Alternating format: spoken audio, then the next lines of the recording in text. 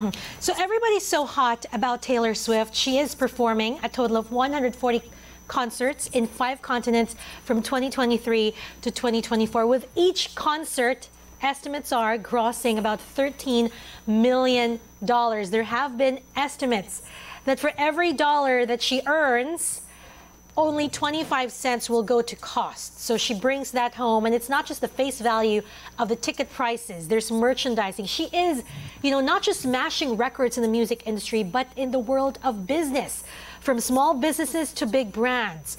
And even countries. I mean, Singapore is already upgrading its GDP forecast. Let's talk about how Singapore did this. It was a pretty wise decision to negotiate that Taylor Swift's only stop in the region will be Singapore, aside from Japan.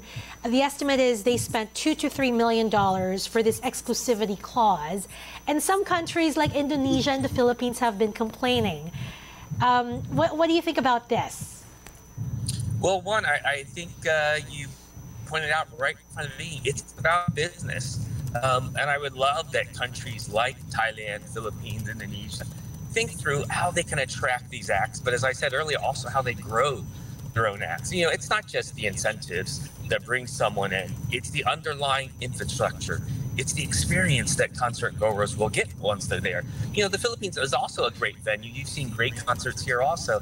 But I have to tell you, for me, one terrific experience about the Taylor Swift conference was that I was able to get back to my hotel, I think like in 20 minutes via the subway.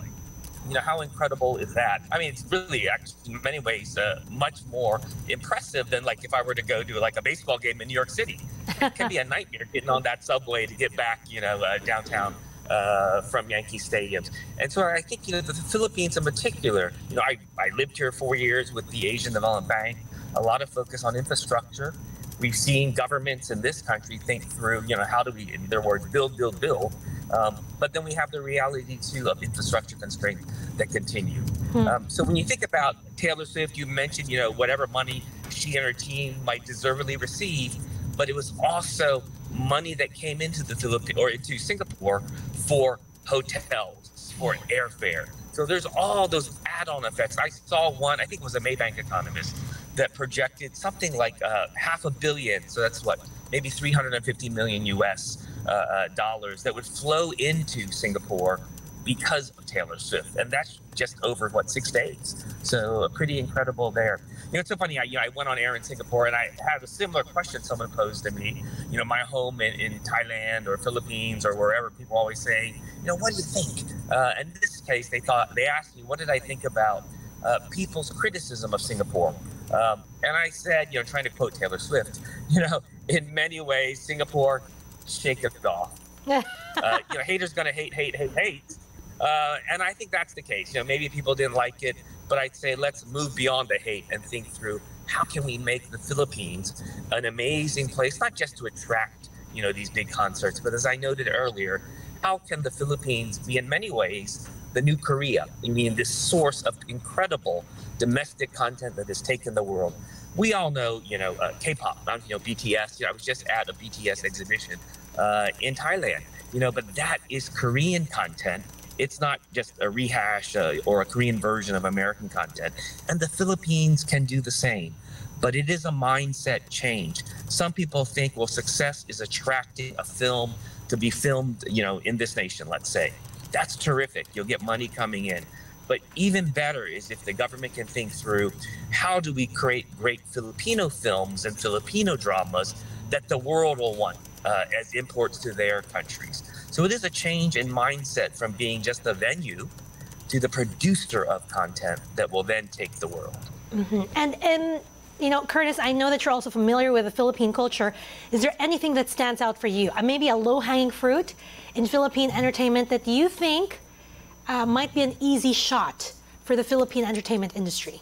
Or maybe well, any mean, think, policy reforms that you think would be critical to make it happen? Well, I, I think, you know, one thing uh, that the Philippines has going for it is, to be quite frank, the English language. You know, there's been much debate, you know, what language should instruction in schools be. Um, and so various reasons you can argue one side versus the other. but clearly the Philippines benefits uh, from the ability of, of really people to speak English. That needs to continue. But your question reminds me, like, you know, why am I here in this this car?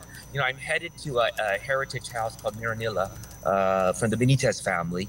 Um, that's, I think, the only heritage house in Quezon City beyond, you know, President Quezon's uh, that's open to the public.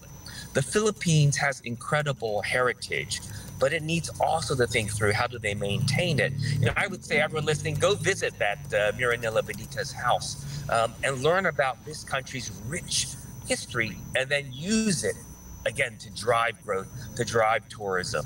And so you think about all the great things about the Philippines. Sometimes we know it here in the Philippines, but the people outside of this country only have stereotypes and sometimes not great stereotypes of what is the Philippines today. So this country need to take pride in this culture and heritage and think through not just how to attract people to it here, but how do we bring it out to the world? English, technology, there are many things that the government can do uh, to bring that forward. All right. As Curtis, as always, a citizen of the world, you're like a Filipino yourself. Um, thank you very much for taking our call. It's always a pleasure to speak with you. Hopefully, the next time you visit, you can join us in the studio. Absolutely. Have All a right. great day. Have a great day, Curtis. Of course, that's Curtis Chin, Milken Institute Chair, Asia Fellows, and former U.S. Ambassador to the Asian Development Bank.